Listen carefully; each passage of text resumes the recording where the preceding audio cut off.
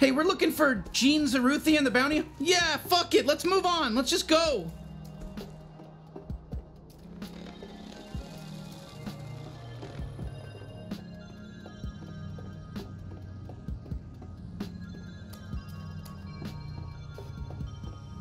Unauthorized walk detected.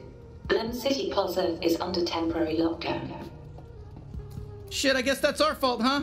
Let's just try looking around here for now. Okay, this isn't going so well, but let's keep asking around. We'll find something, I, I swear.